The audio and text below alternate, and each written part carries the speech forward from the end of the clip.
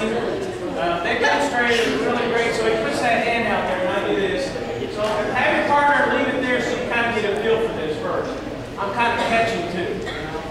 But this shoulder, and this is a little extra, but try not to go way down there.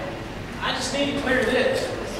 Just need to clear this. So, and as I'm clearing it, some of you are forgetting, and you're waiting so long throw the punch, it's too late. And once this is here, you're clearing at the same time punching. Okay, so try to make that without going too fast.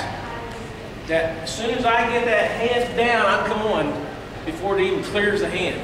Got it? Try it. Go.